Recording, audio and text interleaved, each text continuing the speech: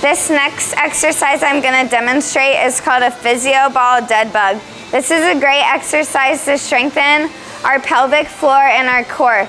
So I'm gonna start with, again, physio ball or Swiss ball, and I'm gonna start with laying down on the floor. My back's gonna be flat on the floor. I'm gonna take this ball and I'm gonna place my right hand, left knee on the ball. My back wants, is gonna wanna stay flat the whole time, compressing my ribs towards my hips. From here, I'm gonna keep my right hand, left knee on the ball. I'm gonna extend my opposite arm and leg while trying to keep my back flat the entire time. A lot of core work with this one.